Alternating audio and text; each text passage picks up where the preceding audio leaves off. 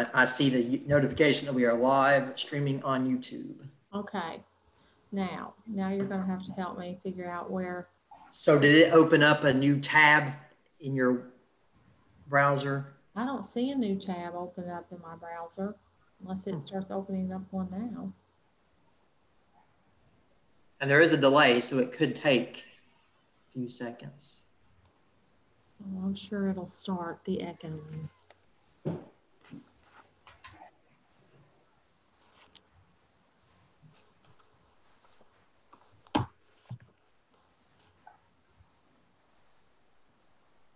I don't see a new tab open up in the browser. Oh no, here it comes. So, And there is a delay, so it could take a few seconds. I'm sure it'll start the echo. No. So where do I, I, I don't, see, I never see where to close so- it out. I would, Oh no, here it comes. So- there is a delay, so it could take a few seconds. I'm sure it'll start the echo. No. So where do I, I, I don't, see, I never see where to close so- it out. I would, Oh no, here it um, comes. shoot. There is a delay, so it could take a few seconds.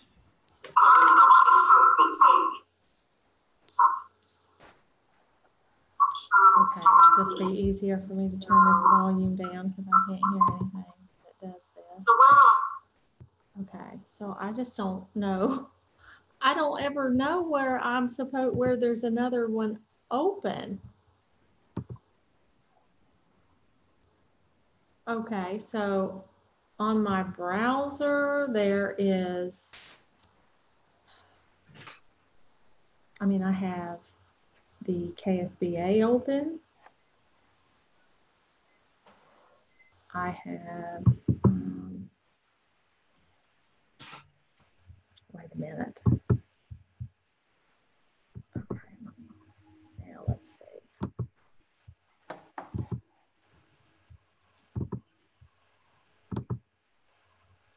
Okay, I think I got it. Uh, Okay, hold on, let's see here. Yeah, I think I got it. See, I just had to have you on the phone just for moral support to figure it out. All right, thank you. Okay, that wasn't so bad. I think if, if we have to do this one more month, I may have that part figured out.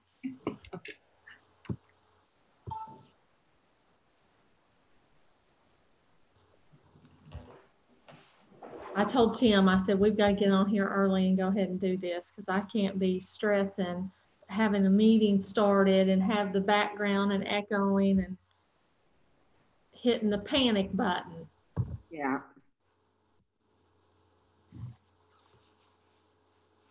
So Julie, Mhm. um, you, you can ask the board after the meeting. Um, you know, the governor apparently July 1st, the next part of the phase in is 50 or more. Uh-huh. So, you know, if the rest of the board, um, and, and, you know, as long as nothing else, you know, changes, if everyone wants to go ahead and do an in-person meeting in July. Of course, our July meeting is the third week. It's always the third week instead of the second. You know, we can, it doesn't matter to me. So it's July twenty-third, I think you have on Yeah. there. Yeah. Yeah, I mean, I don't really care one way or the other. Whatever everybody wants to do is fine with me. Yeah. Yeah, I don't care. I don't care either. Unless someone's on vacation and maybe that would work better for them. I don't know. Yeah, that's true. Yeah, and that's usually why we do it that week. Um, just because it seems like that second week in July, we were always having to reschedule it anyway Uh-huh. because of vacations. But I, you know, the twenty-third, people may be on vacation as well, but whatever. Laura, did you get set up all by yourself? I tonight? think I, yeah, Mike's in South Carolina, so I had to do my Oh. best. Good. You did well. Somebody's trying to get on down there, it looks like, but I don't know who that is. Oh, Chastity. Cassidy. Yeah, but she just needs to turn her uh, camera on. Like, I think it's on. I think she, stepped she left the room a minute. oh, oh okay.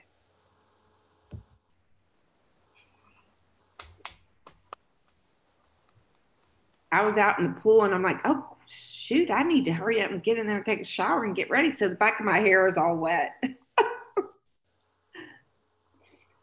It looks good. I tried It to looks, find- it looks more blonde. It is. It is. My sister um, put more blonde in it, but with uh, but with me playing pickleball every day and being out in the sun, it's really turned it blonde for sure. Yeah, I like it blonde. I think it looks good. I used to be a blonde. Did you? Oh yeah, I, I was always blonde until um, probably about ninety three ish. I think I, I went to red, and so it's always been like strawberry blonde since then. Yeah. Now you're going, you're going back, full circle, back to the blonde. I'm thinking that it will help with the gray. So Yeah, that's, yeah, that's true. Yeah. That's a, a good hair color strategy. Yeah. My sister told me that, so I'm like, yeah, that's that sounds good. Which sister does it? Margie? No, Becky, my sister in Lexington. Okay. She, uh, she's my hairdresser. Oh, yeah, that's nice. Yeah, it is. I bet she's cheaper than mine. She's cheap for me. Yeah. Yeah. Yeah. Usually, I just have to take her out to eat, so that's that's nice. Of course, when her whole family goes, then it can be expensive, but it's well worth it. Gives me a Yeah. chance to see her. So I, I love to go there and see her. So she plays pickleball too. So she and I play play quite a bit. I go up there and play pickleball and then get my hair done. Yeah. Hey, Dion. Hey, Hi. I got a haircut, but mine's too short. It is short. I didn't, well, it's Sandy. Sandy I never like cut my it. hair. It's lacy. I like it. I think it looks good. It looks good. Just hmm. too short, like right here, because my hair's so thin. I don't like how. Yeah, I think it looks really good. Like it Yeah. It, it right? doesn't look, it doesn't look too short on screen. No, Okay. it doesn't. Good. I just won't turn sideways. It is. Hey, Chastity. Hey, Oh, diesel. We're recording. We got that part of this set up early. Tim has to walk me through those steps. I said one more month, I would have that down. Robin, are you and Sean there? You- Are you and Sean there? I see you and Sean on the screen, but I don't see your faces. Well, my, I'm not gonna turn my video on. Oh, okay. It runs my battery down too quick. Wow. Gotcha. And that link you sent me in that text didn't work. Tim had to give me a different number. Even need a number. I just got right on. When I went to the link, it took me to a, a different eight one five oh four oh, a different ID number. Hmm. Huh. I don't know. D- I mean, if you'd gone to the, you probably couldn't get on your email though, could you? No, Because your internet's down. I I can't gonna even get on. I can't even check my email on my phone. I know, I know. That's, that's why I was at the office and I said, I gotta go home. I can't. I, I have AT&T, so we had no internet. We had no cell. I couldn't even check my email on my cell phone. oh yeah, AT&T wasn't working in Augusta. Yeah. Hey, Sean, I'm here. you look comfortable. I am tonight. Are you sure you're not at Robin's in his recliner? I couldn't get in my office, got all my winter clothes in there. Well, there you are. Well, my battery uh, yesterday. Remember yesterday it ran down real quick in that meeting. Yeah. So I don't know if it does. I'll let you know. Okay. Well, Sean's got the recliner tonight, so you're good. Smart guy. Yeah. And it looks like Jim Downing's logging in. I'm trying.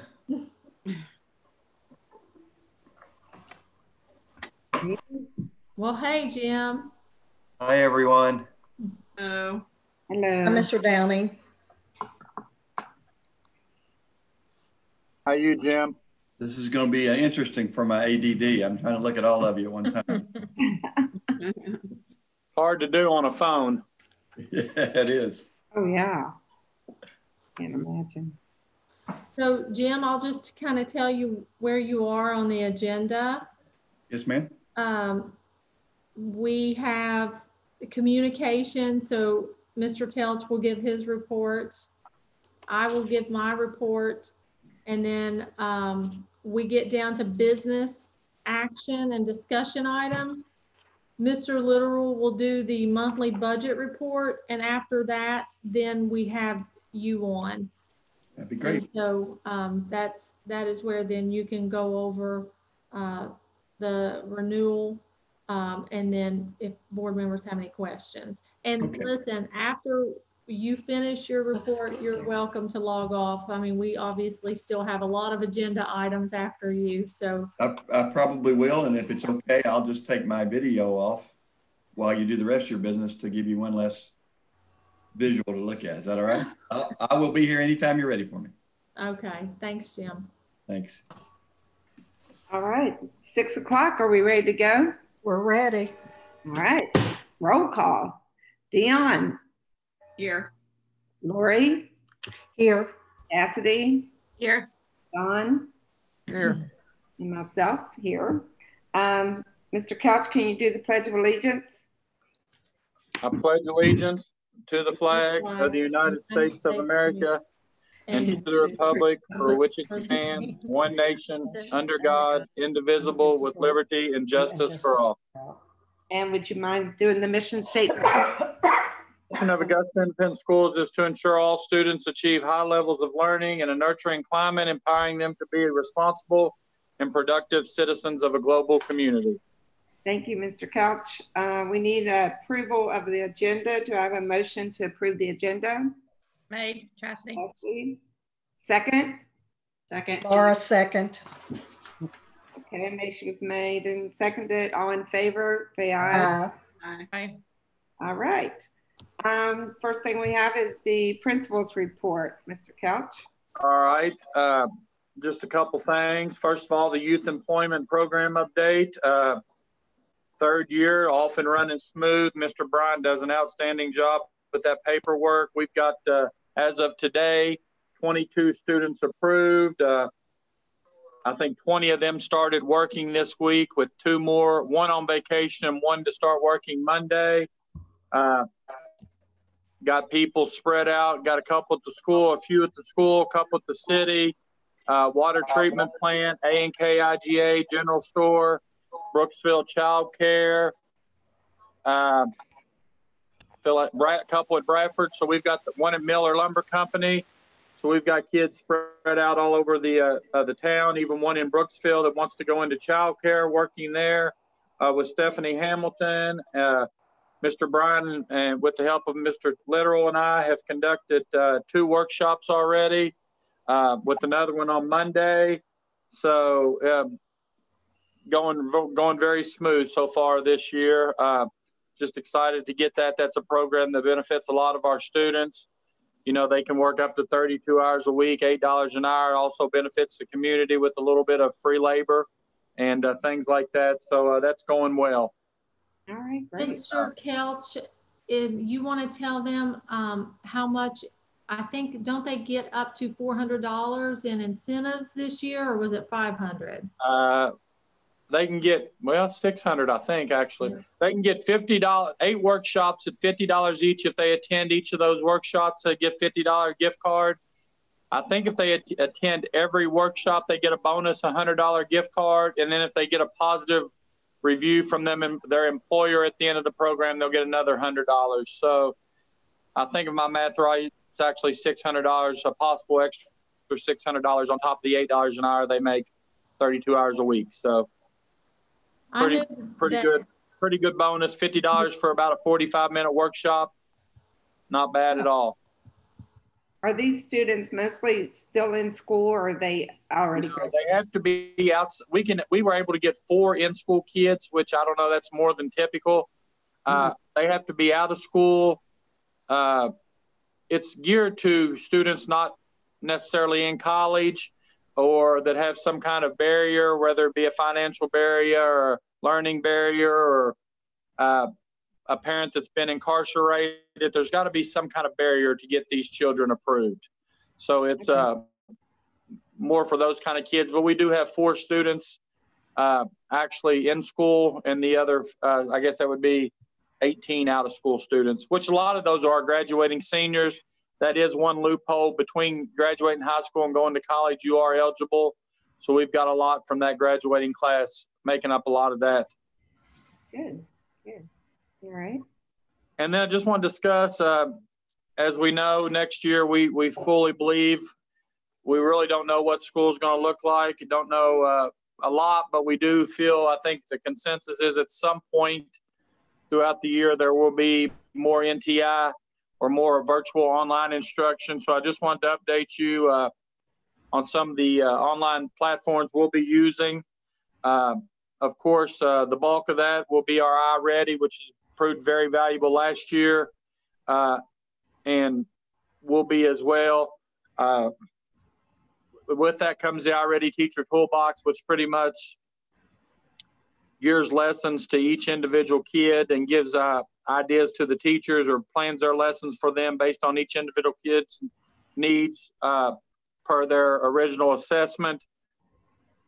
Uh, we're also, I think, very close, Ms. McCain can probably, to purchasing Achieve 3000.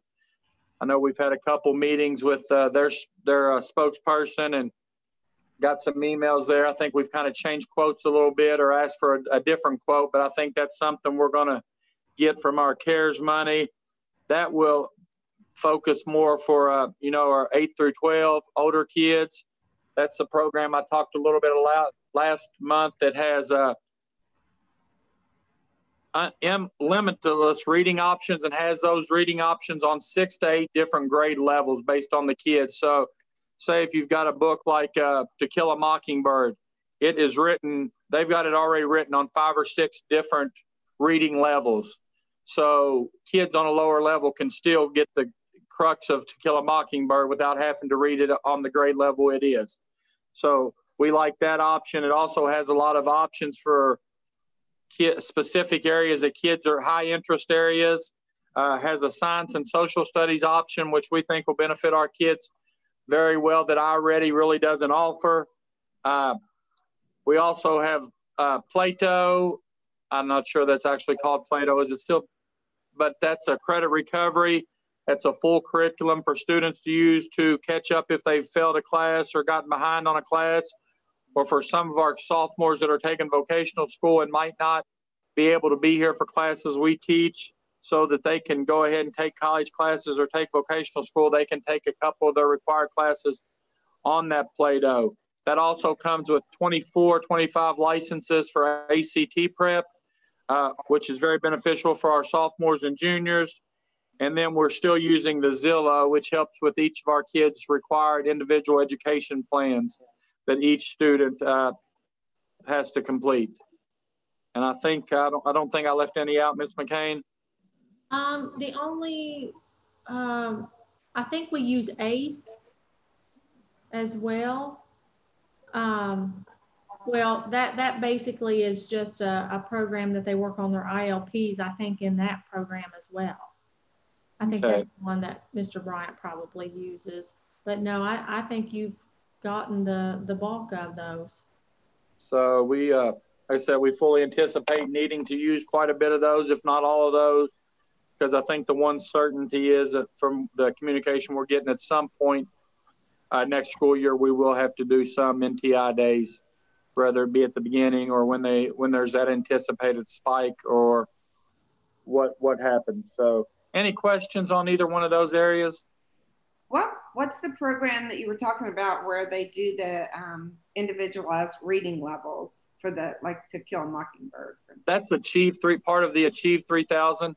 Okay. we're in the process of, uh, I think we had gotten an initial quote and we had talked and kind of wanted to add a couple things and possibly uh, look at with the quote with the social studies and science. So uh, we had a, a, Zoom meeting a couple weeks ago with their uh, salesperson, and that was very, very beneficial, very helpful in seeing what all they had. And I was very impressed with, you know, that was the thing that stuck out to me, but also the high interest number of high interest reading areas for uh, middle and high school, you know, whether it be coding or video gaming or sports cars, just a lot of high interest uh, factual reading that older kids would like. So currently, our iReady teacher toolbox um, is individualized in reading and mathematics for students up to eighth grade. So we know with the anticipation of having more virtual online learning, we needed to supplement what we currently have. So we've been working with Achieve 3000.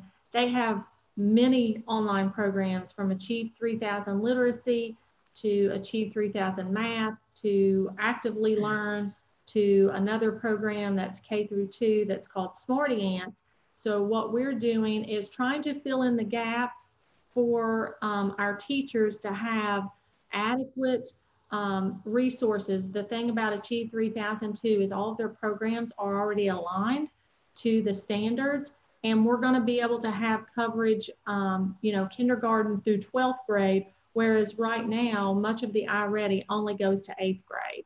Um, every one of these programs, they all have their little, a little niche and, and a little something, you know, special and different for them.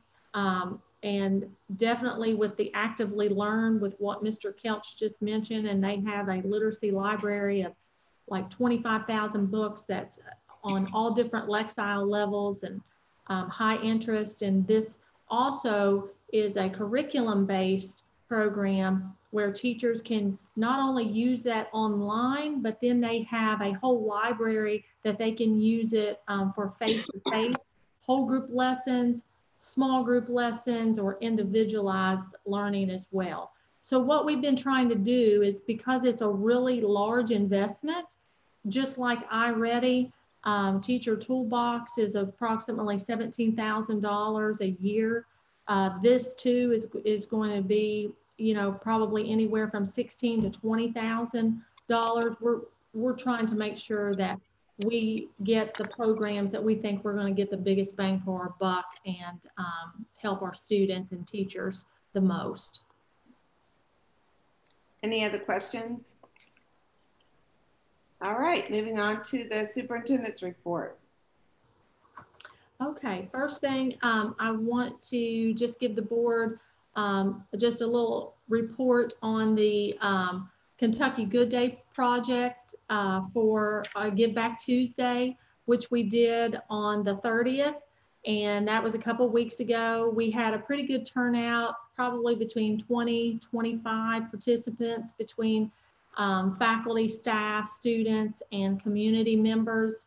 Um, it was definitely a, a really good experience you know, moving forward and uh, thinking about next year, hopefully, hopefully, knock on wood, we'll be past the closure. And I think that's going to help us to be able to um, get more student engagement and really get them more um, involved and participate in the program next year.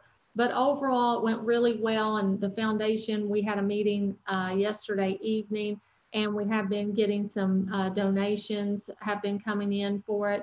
So it's something that you know we know is is going to uh, benefit the the school district and our students um, as well. Any questions about Give Back Tuesday? Um, the next thing I want to share with you is we are looking at participating in what is called the J1 Student Exchange Program, which is basically a, an international uh, foreign exchange program. And I've been in communication with the regional director um, from the state of Kentucky. And I've spoken with the um, administrative team and, and been talking with Mr. Kelch. And so we're looking at um, participation for the upcoming school year. they actually currently have uh, a hundred, over a hundred students that need to be placed. Most of these students are in Europe, um, primarily Denmark, Sweden, Switzerland, um, Germany, France, Spain, Italy. Um, and so what will happen is they will be looking for host families. Now, um, all of these students, of, of course, um, are vetted and the, the school actually gets to select, they get all of their information and bios and then they select um, students as, as well. Well, part, the host families do. Um, from there, what will happen is it's not the school district's responsibility to um, find a host family. It's more, you know, their uh, their platform to do so. However, they um, certainly appreciate, you know, the school helping. They have a lot of marketing materials and that sort of thing that we can um, put out on social media and on our district website. Um, so in thinking in terms of um, host families, if the school board has any um, anyone in mind that you think might be interested, please uh, let us know because uh, we are looking at participation. The only thing, and I, will be putting that information out on um, social media and the website here probably next week. Any any questions about that program? How long would they be here? Um, they would be here the entire school year. Okay. So almost a year. I do know that um, the d- director said that basically all the host family really has to provide is basically three meals a day and just transportation if they needed, you know, to go to sporting events or um, whatever. She said they actually have all of their own spending money and um, you know they buy their own toiletries and, and things like that. So you know they work with host families to find a student that they think you know would be a good fit to for their their family if they have other sibling other children and and that sort of thing. Good. any, any questions? About that. Okay. So um, the next the next item is the reopening plan. I want to talk a little bit about that. Obviously, it's very challenging um, right now because it's like I told the administrative uh, team yesterday when we met, it's it's a moving target. Um, so it's really hard at this point uh, to know what our plan is going to look like just yet. Uh, what we do know is that the reopening plan will have to be in compliance with local and state, you know, health guidelines and restrictions. Um, and those are changing weekly. And so that's why at this point, it's necessary to wait, you know, until later, you know, in the summer before we issue our plan. If we put a plan out today, if we put a plan out next week, or the week after, it would already um, have to change. So we're trying to wait um, as, as long as we can uh, so that hopefully that will be um, the actual plan. So I do expect that um, I will be bringing uh, and presenting a plan to the board next month. Um, and I, I do know that, um, you know, this is something that's really important for our parents. Mr. Literal has put out, uh, we had developed a survey to get some feedback and input from our parents. And so looking at the survey results, we know that our parents um, overall have indicated the majority of them, about 80, 85%, you know, want to send their kids back, you know, in August. So we know the majority of our parents want to send their kids back um, to school as normal. So we really ask that parents and guardians and, and staff be very patient and very flexible and understanding because we can only do what we can do based on what the, um, you know, restrictions of our local and state officials are.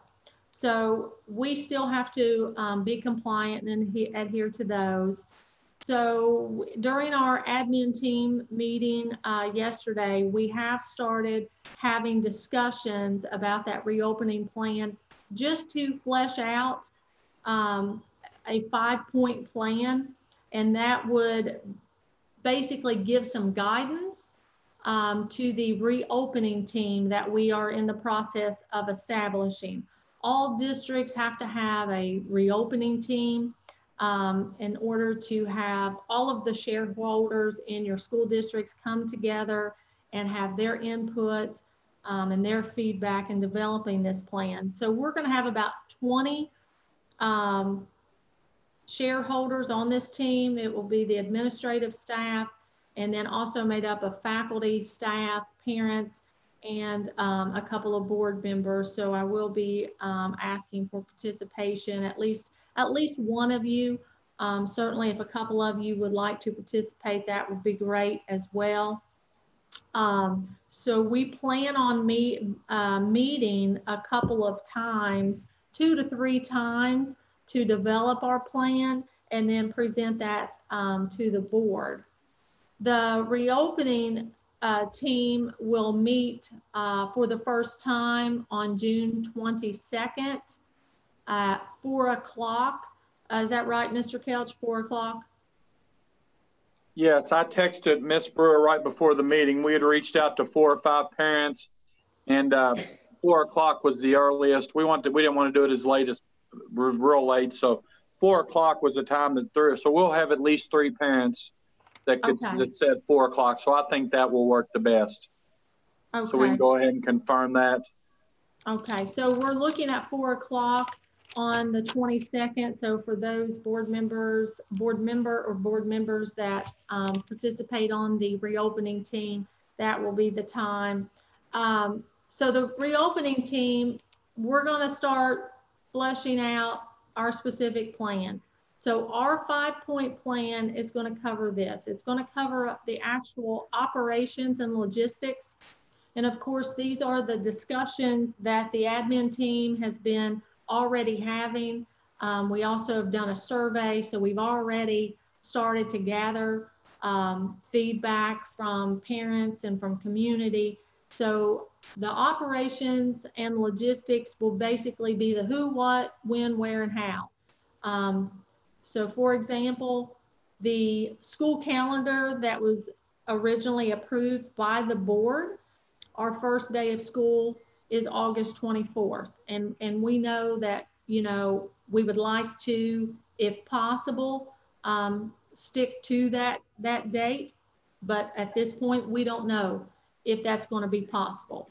Um, we know that we, based on the survey results and just the feedback from faculty and staff, uh, we would like to have the maximum capacity with students and staff um, allowable uh, based on those health restrictions. So if we are allowed to have 150 students in the building at one time, we're going to have 150 students and staff in the building at one time. So we want to um, operate at maximum capacity, whatever that, wherever that is at that time. And then we'll be looking, you know, operations and logistics would then cover transportation, food service, that sort of thing. So the second part of the five-point plan is safety and health procedures. So we have to determine what that's going to look like in terms of social distancing, masks, proper um, sanitation and disinfecting and taking temperatures and just um, health checks. We know that's something that we're going to have to do as well. So we'll be fleshing out um, those procedures and protocols as well. Third uh, point of the plan is the learning design model. So just this week, we have uh, been receiving uh, reopening guidance documents from the Department of Education, one of those being a learning design um, model. Uh, it basically gives us different options to consider they don't dictate what schools should do. They just basically give us um, different suggestions and ideas and questions to think about as far as implications and just things to consider. Some of those learning design models are a scheduled rotation, a synchronous opt-in hybrid model, a combination model, online virtual school.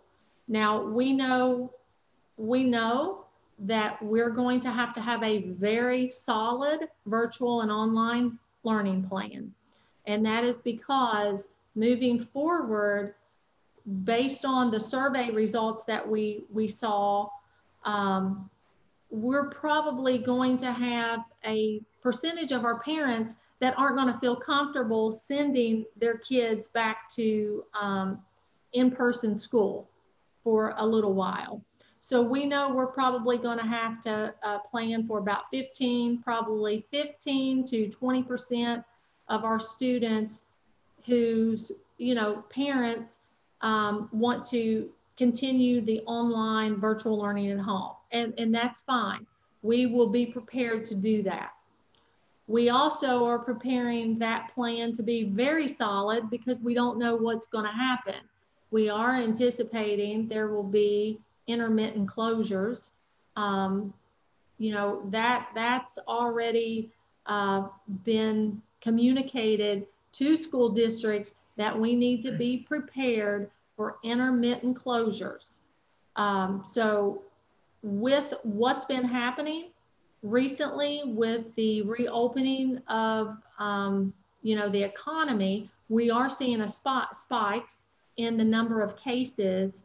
So, you know, at this point, we don't know if we're going to be informed that we can't start school in August. You know, they may end up telling us that we need to delay until September or, whatever. So a big part of our plan will definitely be a hybrid that will include a solid online virtual plan that we can um, quickly shift to and do 100% um, online if necessary. The other part of that would be some type of in-person on a probably a rotational schedule where we brought in the maximum number of students allowable based on the restrictions. Um, the fourth point of the plan would be the social and emotional well-being. Um, that is something that will be most important when we get students back in the building. Uh, when students first come back in the building, that's going to be our first priority is really um, looking at, at these kids and seeing if their basic needs, um, you know, where they are psychologically. I mean, this has been extremely stressful. This has caused a lot of anxiety in adults and children alike.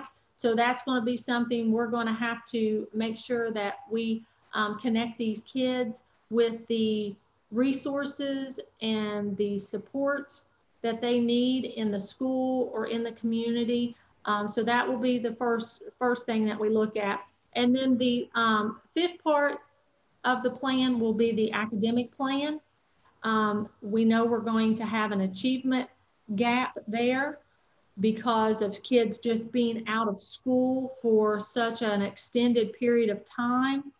Um, that achievement gap, you know, an, another piece of that is the um, curriculum gap. So with the achievement gap comes a curriculum gap because teachers, you know, didn't have kids basically the, the last fourth of the school year. So what we have is we've got, you know, uh, teachers will have to determine what was not covered with the curriculum so that there can be conversations and collaboration with teachers to make sure that is covered and taught when students do get back um, to school. And then, of course, assessment. Assessment is going to be a huge, huge piece of what we do when we return. That's going to be really um, the crux for the first probably month uh, that students get back because we're really going to have to uh, assess and drill down where kids are, um, you know, how much you know, they, they obviously have, have gone back and, and what we need to do. And then from there, we'll have the individualized learning uh, plans in place. And then a big part of the whole academic plan is the teachers, is the teachers and the preparation and the planning and the professional development that we'll be doing um, this summer. Because we want to do a good job of really preparing them uh, for doing a lot of virtual online learning, as well as giving them opportunities to really review their curriculum and be able to work collaboratively with the other teachers and then um, you know have them prepared for assessment the assessment piece for the kids. So that's there's a few things about the reopening plan um, that's where we are currently so we don't have a plan just yet but we definitely have been thinking about it it's our number one priority right now, and, and we will have a plan. And as soon as we do, I will present that to the board.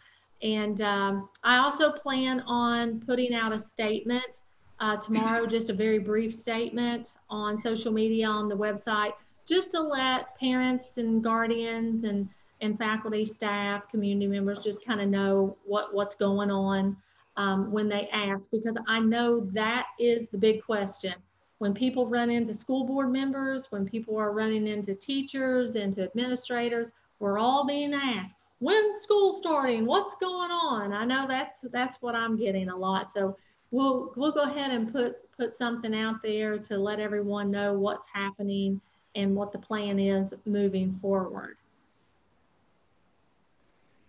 All right.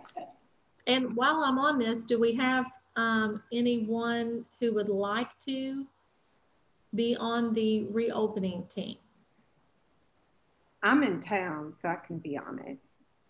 Okay, so we've got, we've I would like to be on it. okay. So we've got um, Laura and Julie, thank you. I appreciate it. And uh, we really can't have any more. We'll have a forum and then we'll be in trouble.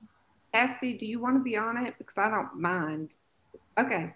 I, I just figured since you had those kids in school, you might want to be on there. No, that's fine. You're fine. Mike, you're Um, the next thing, uh, Mr. Literal, he's gonna just tell you real quickly about, um, the Infinite Campus online registration that's free for the districts. So um, just like school districts are getting CARES Act money, the Department of Education has received CARES Act money, and they're using a portion of that to provide school districts with what's called um, online registration for two years for free. So, um, of course, we discussed this. We did not want to implement anything that we would have to take away in a couple of years. So, um, there is a, a basic version of, of the registration that we will be able to keep uh, once the free version is up, and that will be financially feasible for us to, to keep that.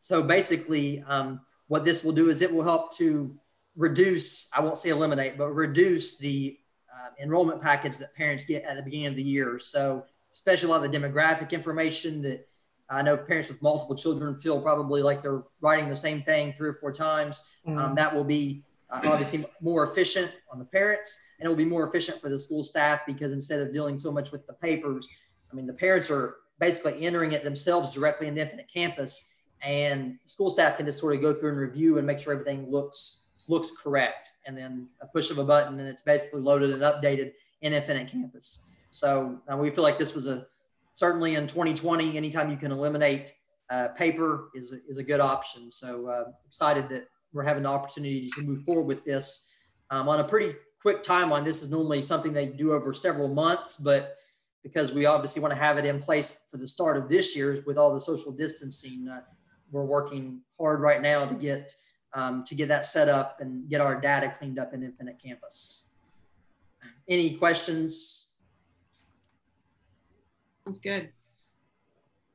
And I just, the last thing I wanted to just uh, give you a quick report on was the um, FEMA. We are supposed to get some funding from FEMA. That has not um, that has not been uh, pushed through yet, but Mr. Literal and I have been getting some updates as far as setting up accounts and uh, just getting prepared there. So we, in, in addition to the money, and Mr. Literal in his budget report will tell you more about the ESSER and uh, GEERS money that we've received through the CARES Act. We will be, um, we are anticipating some funds um, through FEMA, but we don't know what that's going to look like just yet. But they have been, you know, basically getting getting things activated for school districts. And that's all I have, unless you all have any questions. I'm just curious with the CARES Act, are you able to pay for the program you talked about earlier that helps with um, reading, or is that something you don't want to do, even if you can, because you won't be able to do it continuously, like he said, into the future? Is Right. Um, no, that is exactly where that program will be funded through. Um, Mr. Literal, when he gets into his budget report, um, he's going to tell you uh, most of the um, most of the the money that we're receiving is really going to be for the technology upgrades that we need and to cover you know online virtual programs. Any other questions? no. All Good right. question though. Thank you, Lisa. Um, the next thing is personnel. Looks like uh, we accepted a resignation from Maria Hitt, third grade teacher, and we hired Randy Bloomfield for in her place. Uh, citizens and uh, board members: Chastity, No. Laurie, No. Dion, No. Don, No. Don, No. and I don't have any either. All right. Um, we're going to talk about the monthly budget report. All right, um, so looking at our uh, revenue receipts through May, our uh, receipts totaled one million seven hundred and seventy-two thousand dollars. Local revenue from the general fund with two hundred eighty-nine thousand dollars received for property taxes, one hundred and seventeen thousand in utility tax, uh, fif- over fifty-four thousand collected in our public service commission taxes, uh, over um, twenty-five thousand received in motor vehicle taxes, twelve thousand dollars collected in tuition payments, fifty-three hundred in transportation reimbursement, um, four thousand dollars in donations, uh, twenty-two hundred in miscellaneous revenue, fifteen hundred in delinquent taxes, uh, eleven hundred for uh, refunds for prior expenditures, and seven hundred dollars for the fitness center, and then earned interest. Most of that in the uh, cash insured sweep account of twenty-nine hundred dollars. State revenue uh, for the general fund, SEEK funding was at one million two hundred and forty-two thousand, uh, and approximately fifty-nine hundred from revenue in lieu of taxes from the state. And lastly, our general fund federal revenue was Medicaid reimbursement of fifty-six hundred dollars. Our expenditures through May totaled approximately one million seven hundred twenty-five thousand dollars. School budget uh, through May had spent nineteen thousand one hundred dollars with um, most of these expenses haven't changed. They haven't spent much the last month. Uh, the categories that did change, uh, copying costs $6,300. Uh, and I think um, $3,900 in general supplies and technology resources. The maintenance budget through May totaled $275,000 with uh, some of the expense categories that changed 87,000 in our utility services, 66,000 on salaries and benefits, um, 24,000 in general supplies, 11,300 on building repairs and maintenance and plumbing expenses, uh, 10,200 on professional services. Uh, and through May, 90% of the maintenance budget has been utilized. Transportation budget through May uh, with cost totaling $82,000. Uh, 38,000 of that was on salaries and benefits. And um, that's been really the only change in expenses over the last month. For the general fund, then our receipts currently exceed our expenditures by nearly 47,000. Special revenue fund, as Ms. McCain alluded to, we received notification of our allotment of our CARES Act money. The ESSER funds and the GEER funds combined total right at $100,000. Um, and of course, the uh, the purpose, the primary purpose of those funds are supposed to be uh, to assist in virtual learning and, and food service. Thankfully, our food service, as I'll still reference in a few minutes, has a very healthy balance. So we were gonna, we were coming up on having to refresh most of our Chromebooks anyway. It's been three or four years since we bought those, and that's about the life of a Chromebook. So um, it, it really came in handy. We were gonna have to do it anyway, and obviously with possibly being, um, you know, uh, more NTI and virtual learning, we wanted to be sure that we had the devices to support that. So we're purchasing uh, 160 Chromebooks that will allow us to uh, extend our one-to-one all the way down to kindergarten and then replace some of the Chromebooks that need to be replaced in the upper grade levels. So between the Chromebooks and you have to make sure you have the cases for those and the charging stations, um, you know, that right there is probably, you know, 50 to 55% of our CARES Act expenses. And then like Ms. McCain's alluded to, purchasing some of those uh, uh, curriculum programs through that as well. Um, we're also looking at, you want to tell them about the mobile hotspots because that's another. Yes. Um, so we're going to be looking to purchase some hotspots for uh, primarily for our uh, families that do not have internet access and are unable to do any sort of virtual learning. Um, you know, without that, that was part of the survey uh, question, and we had a, about 24 respondents on that survey that said they did not have and we're excluding when we talk about internet service here we're, we're excluding cell phone service we want to know legitimate um, internet service uh, through at, through the home. So had 24 respondents. So we're i've been working with uh, t-mobile to get some quotes on providing that service. And then also now looking at um, purchasing cameras and microphones for the teachers classrooms with the possibility that teachers will have students in their classroom while also teaching students who are still at home and um, looking at the food service fund, our receipts through May totaled $154,000, 140,000 through uh, federal reimbursement, 12,000 local revenue, and 2,000 state revenue. Our expenditures um, through May included 147, or they were at $147,000. That included 75,000 on food, 64,000 on salaries and benefits, uh, 4,000 400 on equipment repair, 2100 on general supplies, $800 on dues and fees, and $600 on equipment. So our food service balance has held pretty strong. At, it's currently at $56,000, which is where it's been a couple months. So while we've had a significant revenue decrease, we've also had a decrease in our in our food expenses. So that's helped us kind of stay pretty close to where we where we've been. Any questions about the budget report? All right. I need a motion to approve the monthly budget report. Dion, May. And a second? Kathy. All right, there's a motion made, seconded. All in favor, say aye. Aye. Okay, um, the next thing we have is to, uh, the Liberty Mutual Insurance renewal for 2020, 2021 school year. Mr. Downing. I am here. Uh, Jim, would it be helpful for me to share my screen and, and bring up the form? If you need that, I can bring that up anytime. Probably. Okay. Oh no, oh no, Mr. Literal, be there, be there for me. Every time I Well, try they- something new, I need, I need support. Okay.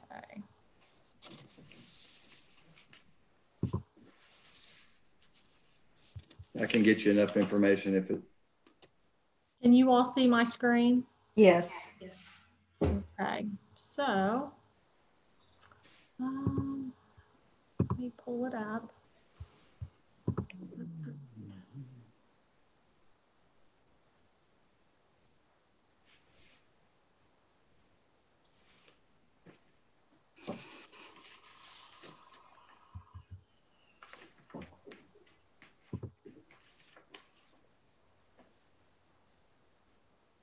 Okay, can, can everyone see that now?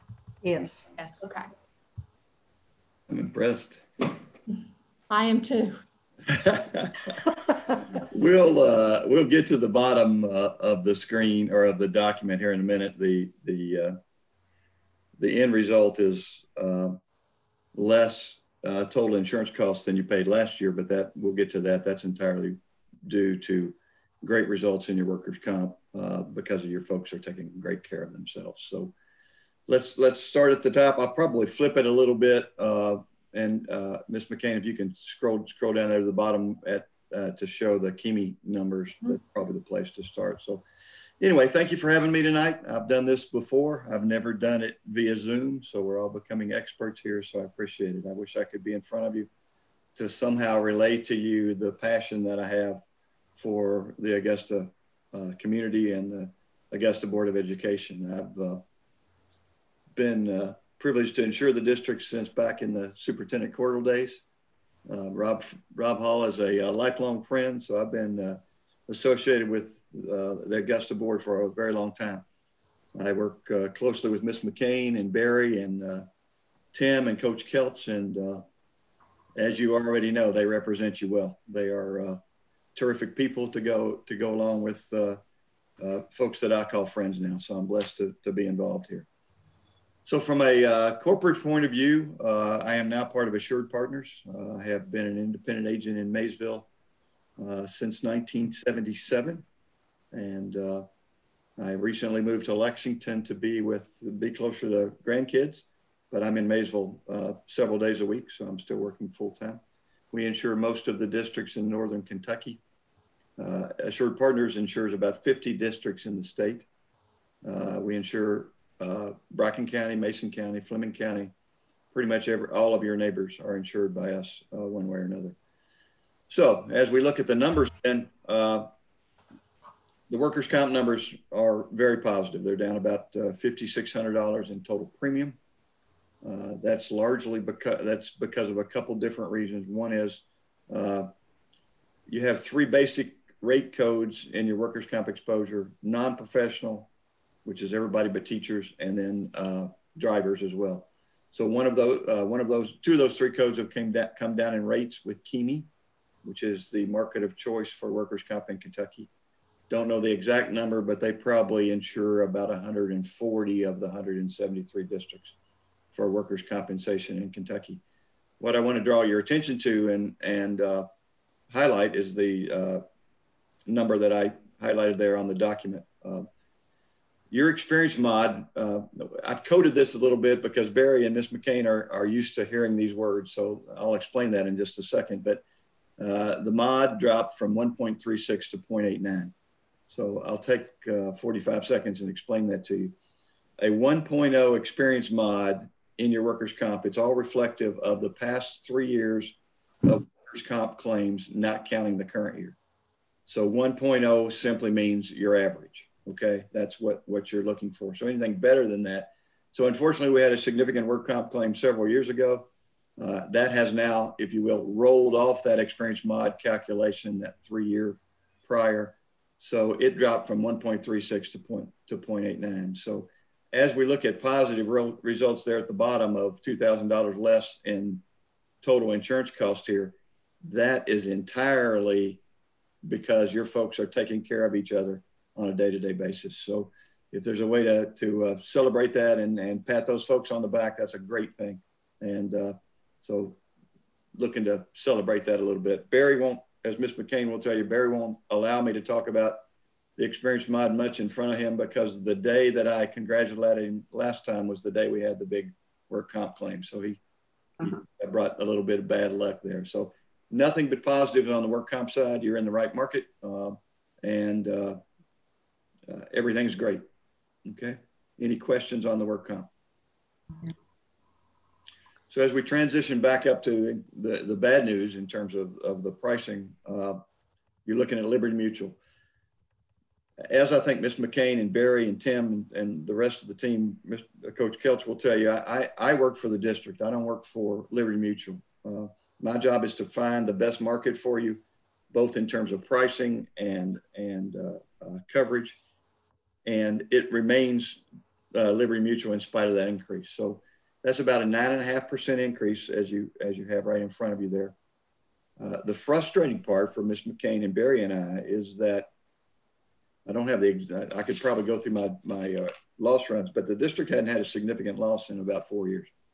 So the loss results uh, for the district are absolutely off the charts terrific.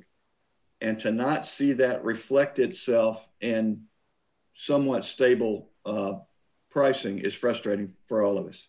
Uh, Ms. McCain is a, uh, fights for you uh, for the kids uh, valiantly, and uh, I hope she would agree that I do the same. But the, the end result is a nine and a half percent increase with Liberty Mutual. So, in that process, we decided to go out to market. So we represent, Assured Partners represents all the known competitive, competitive both in terms of pricing and coverage markets in the, in the, uh, so that's not on your, uh, your screen there because we hadn't, hadn't done that at the time. So I will tell you that you're looking at a $40,709 annual pricing from Liberty Mutual for all of your coverage with them. So we went out to market, and the way you do that to, to get the best uh, result is that you give other insurance carriers, and there's not many, we'll talk about that in a second, you give them a target premium. So what you don't want is to say Liberty Mutual's at 4,709, beat it and you get the business because you get carriers that will, in quotation marks, buy your insurance business for a year and then uh, uh, jack it up in the future years. So we went out to three different carriers uh, I'll name them, but they don't particularly matter to you. They are EMC, Selective, and Wright Specialty. So we went, those are the only three, well, we went, went to Selective, but they were double what they, what you're looking at there. So we went out to four total other marketplace markets. They write every single school district in the state of Kentucky. All of those markets do. So there are no other markets. Liberty Mutual writes about 150 of the 173. So I'm jumping around a little bit on you. Uh, the 40,709 is the Liberty Mutual premium. Uh, the quotes that we got back were 41,481 from EMC, 41,312 from Select from uh, Wright. And as I said, uh, uh, because of the property rates that they were going to charge us, Selective was essentially double. So what we did to, to just to make sure you understand what I'm saying is we went out and said, okay, these other carriers, we have to have you between seven, 37,000 and 38,000 to have you be a, vi a, viable option for this district. We're not going to, as, as bad as it sounds now, we're not going to walk away from this great loss history we have unless you make us do so from a pricing standpoint. So they knew what it took for them to earn your business and they didn't do it.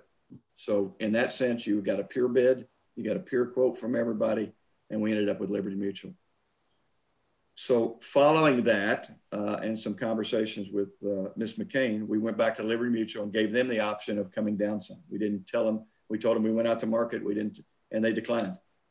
So we've gone to the market. Uh, Liberty Mutual is the best option we have in front of us. It would be good if we could get them some competition in the years to come, and that will be part of my job. But for now, Liberty Mutual is the market of choice for not only your friends, uh, uh, of the of the 50 or so we write, 45 of them are with Liberty Mutual. The other five are with Wright Specialties. So uh, I'd be happy to entertain any, any thoughts, but it's important for me to make, to help you understand that we went to the market for you and gave them that target and they didn't hit it. So questions in that about the process or anything like that? Anything to add, Ms. McCain? What did I miss? Um, well, I, and I had talked to the board um, last month, and and and I first want to say, I mean, Jim has been in our corner throughout this, and he he and I have had a lot of conversations um, because you know we we were consistently for the last three years we have been waiting for that workers' compensation to come down. And when we got the um, the quote, I mean, it was really, it was really, it was really a punch in the gut because we had worked so hard to get that experience mod at that level, and then to see, you know, Liberty Mutual, you know, like I told you all last month, I felt like you know, we have been good customers to Liberty Mutual. We've done what we're supposed to do. You know, we, we haven't had liabilities. We, we haven't had claims. I felt like we should have been given, you know, a break, uh, you know, just for being good customers. Um, and this is where I have to separate, you know, the fact that, that Liberty Mutual, um, is their own entity. I mean, Jim definitely is working on our behalf. You know, he has our back and, um, you know, and we reached out to other school districts. We, we've reached out, you know, we talked to, to other insurance agents and we were upfront with Jim about that. Um, clearly, Liberty Mutual, the issue is they have no competition. So they don't have to negotiate, and they know that. And I think it's really hard for Jim, um, you know, as as our representative because he wants to help us. It's really hard for me because I know that that that savings, you know, it all for us it, it, it trickles down to kids. You know, it's about kids and the more that we can save at the district level, the, the more that we're going to be able to put for kids. Um, Jim understands that, um, but at the same time, he can, you know, his hands are tied as well. Um, so this is where we are, but, uh, you know, I truly think Jim has worked, you know, as hard as he can on our behalf. I mean, I can tell you, I can send him an email and he is probably the most responsive person that I work with. I mean, he's, he's right there. And, uh, you know, we ask him to go to these other companies. And I can tell you the only real other company, and you can correct me if I'm wrong, Jim, is Wright Specialty. Uh, they, they do some, uh, they do some insuring of schools. Most of these, the other two, he really only did it because I kind of pushed a little bit for him to do do that. I think Jim already knew what it was going to be, um, but I felt like you know for the board, the last three years, I know I've been saying, oh, you know, as soon as this experience mod drops off, we're gonna we're gonna you know feel that savings and so, you know, it was a real blow, but I have to say Jim's worked really hard, you know, to try to get us, uh, you know, an, a decrease on this. So, you know, it, it, it is what it is, but I certainly, you know, it's no fault of yours, Jim. I know you are working on our behalf as hard as you can. And if you could do more, I know you would. Well, I share in your frustration, as I think you know. Uh, I sent the actual quotes to uh, Ms. McCain and Barry, so they have the actual numbers, the numbers I just quoted for you, to show that we actually did the quotes. Uh, Selective was was one of the two carriers you mentioned. They don't write any schools in the state of Kentucky at this point, so I was pretty sure they weren't going to be uh, viable. EMC is a little bit different in that they write a few, but we had some coverage concerns there. So rather than worry about the coverage concerns, we got their price first and given that they weren't competitive, any more competitive than they were, we didn't worry about the coverage issues. So uh, this is not, uh, you know, obviously uh, I'm personally involved in 10 plus schools. So this is not a sideline for me. This is what I do for a living. And so we know the marketplace and uh, uh, Ms. McCain is correct. Liberty Mutual needs some competition. There are some factors in relation to some of the, the school leaders claims and sexual mis misconduct claims and auto claims that are driving the rate. But as I've told her multiple times, uh, insurance companies have a tendency to talk out both sides of your mouth, their mouth. If they, if you have bad losses, they raise your rates because you've had bad losses. If you've had uh, uh, great losses, what you loss history like you guys have, they blame the whole marketplace. So they sort of got you coming and going. So uh, competition that is uh, that provides the coverage you need is going to be the key, and we'll be, you know, again, we write 50 schools in the state of Kentucky at Assured Partners, so we'll be at the at the front forefront of that. So we'll know any market that comes along, we'll bring them to you. So other school districts are feeling the same, you know, they're facing the same kind of increase. Yes, uh, average has been 12%. Uh, that would be entirely uh, dependent on losses. So uh, to directly answer your question, 12% is average. You got nine and a half. Those that had loss problems got much more than that. I think, I think it's disappointing. I guess I know that you've worked hard and Ms. McCain's working hard for us, but with our revenue decreasing, um, because um, since you're familiar with Augusta, with um, the loss of money from mostly Barry, um, Clopay slash Barry, I think, you know, we were, or I was hoping that, um, you know, maybe because of the KEMI dropping that that it would decrease our um, our insurance. So, you know, it is disappointing, and I, you know, hopefully they will get some competition in the future. I, I share that frustration and, and, you know, that, that workers' comp stuff is always fragile, you know, who knows? We could have a claim anytime. So I think I lost. celebrate that like we wanted to is, uh, I'm sorry, Julie, I talked over you there. Can you hear me? No, I'm sorry. Say it again. I saw your lips move, but I didn't see it. I can hear you, Julie. Okay. Uh, yeah, so I, I, I think Ms. McCain will tell you, I, not to the level you all do, but I share in that disappointment. Uh, it, it takes away some of the celebration for the big drop uh, in the experience mod that we have, that you have paid for for the for three years. So uh, uh, the only solace I can give you is I'm 100% sure we're bringing the best option out there for 2020, and we'll continue to do so going forward. All right. Any other comments? All right. Well, thank you, Mr. Downing. Um, we need to, I need a motion to approve the Liberty Mutual Insurance Renewal for 2020, 2021. Laura, motion made. I need a second. Chastity, seconds. All in favor, say aye. Aye. Aye. All opposed? All right, motion carried. Thank you, Mr. Downing. Thank you all. I appreciate Thank you. me and uh, we'll continue to work hard, I promise. Thank you. Thank you, Jim. Thank you, guys. Bye-bye. Jim. Bye.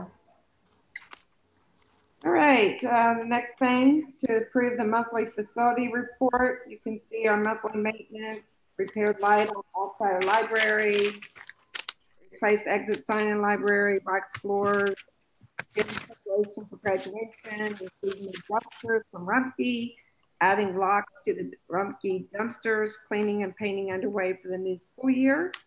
And then our miscellaneous summer projects there, repair suburban, repair parking lot potholes with concrete at entrance, install engraved bricks, repair sinkhole in parking lot, install Raptor system, system, uh, replace board office roof, which is scheduled for August. Any questions?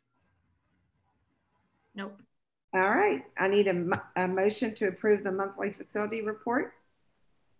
Make a motion. Hey, John. Um, Laura made, or uh, Dion made the motion and the second was by Sean. And, uh, All in favor, uh, say aye. Aye. All Opposed? All right. Um, next thing is to approve the athletic activities guidelines and timelines. And Uh, Julie, I think Mr. Kelch was going to um, go over that Okay, and There's not really- questions. There's not really a lot to go over, just that they've uh, opened it up a little bit, basically mainly for conditioning and some one-on-one. Uh, no more than six people in the weight room, no more than 10 people in the gym. Of course, obeying the six-foot social distancing uh, requirements there. Uh, each kid and coach will have to have a thermometer or uh, temperature check before doing that. And I think we're going to start with two or three days a week and kind of monitor it.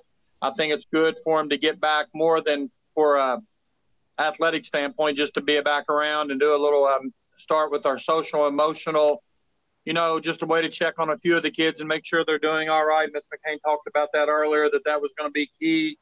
Uh, and then of course with these spikes, you know, we'll have to we'll have to watch that and uh, see if there's future guidance. But uh, we're going to start, I think Friday, uh, we're going to start uh, waxing the gym floor.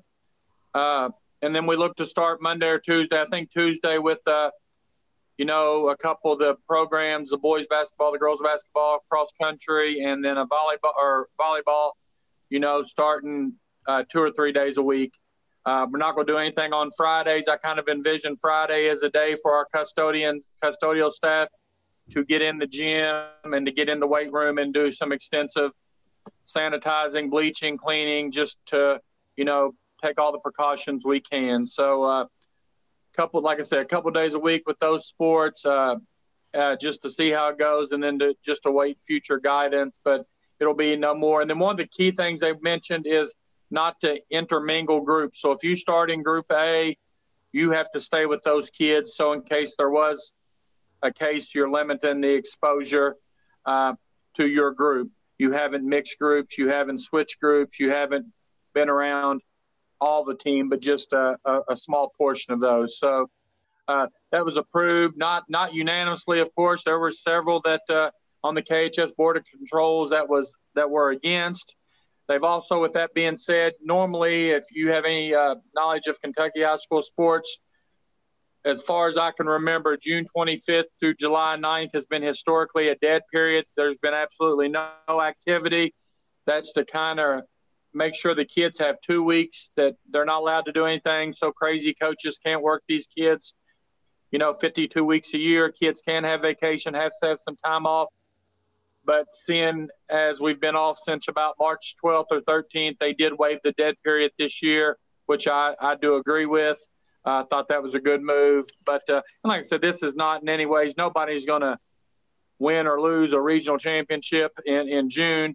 More so for these kids to get a step closer to some normal behavior, to be around some people, for their coaches to be able to interact and check on them. And uh, like I said, uh, and like Miss McCain said, more of a social emotional thing than us thinking we're going to get an upper hand by, and which is why we're not going to let these coaches go crazy and practice four or five times a week.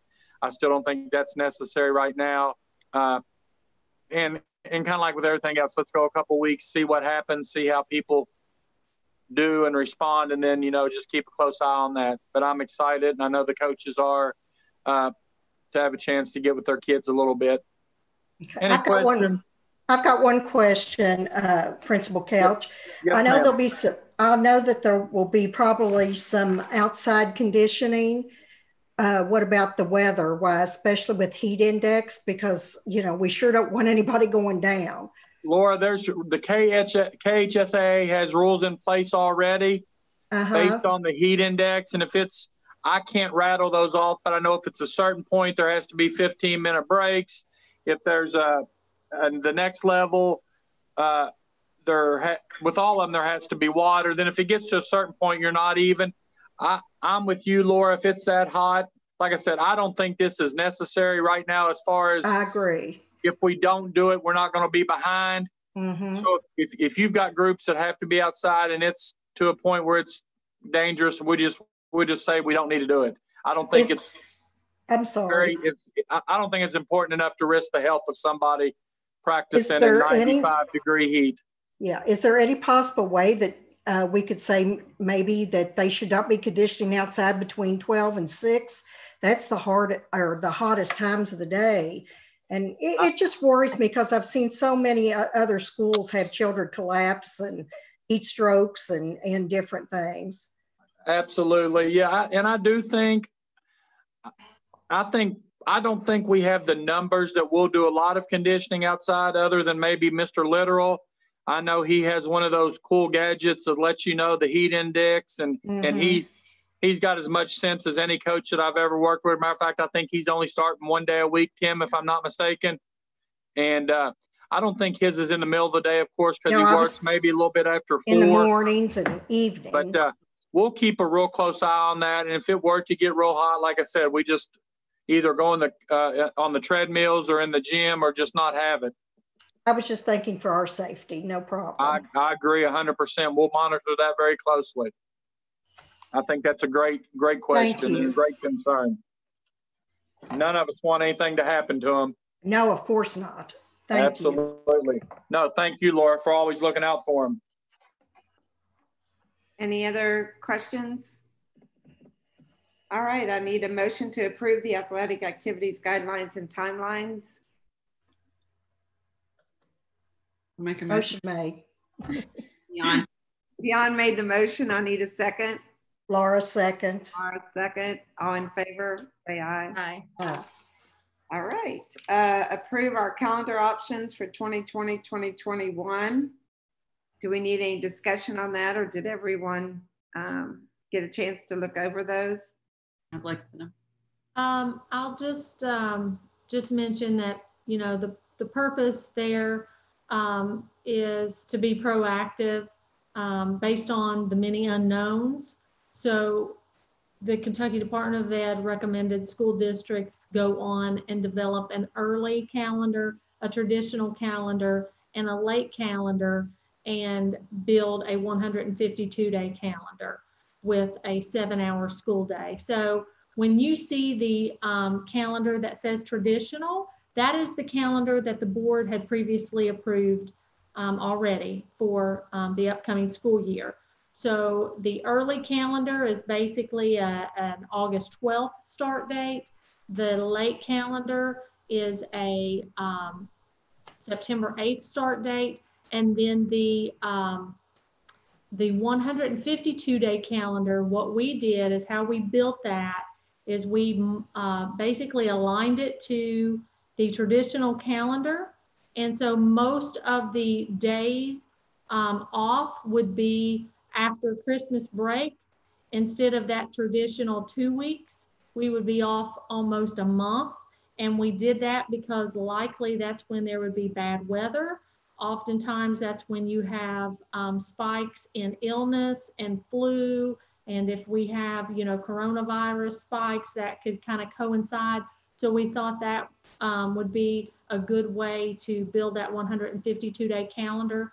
I know, for example, Morehead State, um, they have basically done something similar for their school calendar this year. They actually are starting a little earlier. They're adding a little time onto their classes, and then they're ending after Thanksgiving break.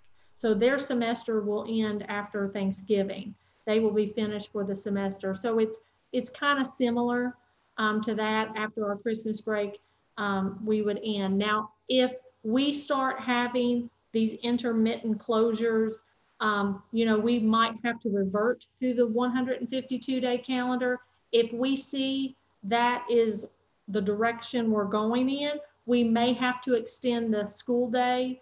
Um, as you saw from, um, from that, we would have to um, add uh, uh, about 20 minutes onto the school day in order to um, meet the minimum requirement of 1,062 minutes um, for the school year. So that is where we are. Um, like I said, we hope we can stick to our traditional calendar that was already previously approved. But that's all I have unless you have any questions. Any questions? No. All right, I need a motion to approve the calendar options for 2020, 2021. Made. Cassidy made the motion. I need a second. Dion, second. On second, all in favor, say aye. Aye. All right. Um, and then we have to approve our, or the first reading of the local wellness policy. Did everyone get a chance to um, read over those attachments? mhm. Uh, Ms. McCain, do you want to say anything about any of that? Um, yes. First, I want to um, say this is all connected to the um, food service audit that we had this year.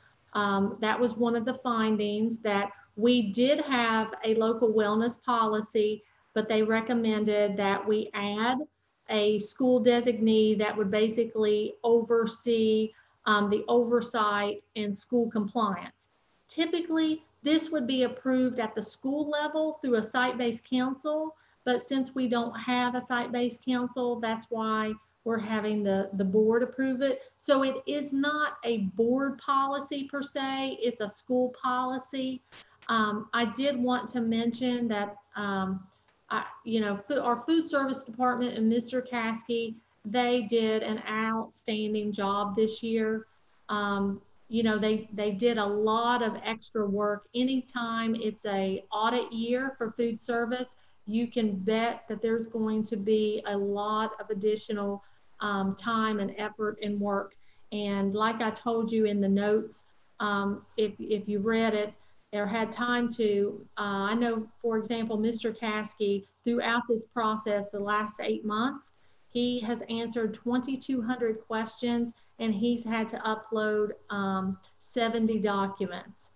So even though we're a small district, we still have the same requirements as if, you know, we were at Jefferson County. He did the same amount of work that Jefferson County would do. And um, I have to tell you, food service hasn't always looked this good. And we've done audits in the past that, um, you know, there had been recommended monetary sanctions. So Mr. Caskey gets a little nervous when we have the exit summary. So of course he came in just really unsure, uh, didn't know what to expect. And she pulled up the report and I mean, there were two just very minor, very minuscule findings there. And so it was a big relief, but really it was a testament to, you know, his hard work. I mean, he, he really busted his tail all year long. Um, it was an ongoing process. It literally goes on eight, um, eight to nine months out of the, the year to prepare and to, um, you know, basically share everything that, that, that they, they need. So just my hats off to Mr. Caskey and the food service department and the outstanding job that they did. Any questions? No. Tell him that we are pleased with his, uh, his progress. It sounds like he's doing a fantastic job. He does. Um, so I needed a, someone to uh, make a motion to approve the first reading of the local wellness policy. Motion made, Laura. Laura made a motion. I need a second. Beyond second. Beyond second, On favor, say aye. Aye. All right, business and consent items, approved previous meeting minutes, approved use of district property, approved fundraisers, approved renewal application of district participation in the emergency non-certified school personnel program, approved fidelity bond of treasurer for 2020, 2021, approved bond of depository for 2020, 2021, approve acceptance of donations, approve bills, approve treasurer's report.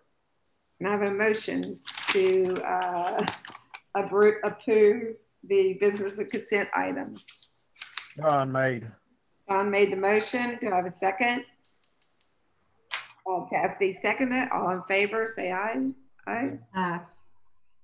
All right, and then we have, I need a motion to approve for adjournment. Beyond, motion made. Made motion, a second, It's Laura second. or a second, all in favor, say aye. Aye. Aye. And that concludes our, our school board meeting. I've been in the room all day. I'm happy about that. Okay, um, let me stop the recording here. Uh,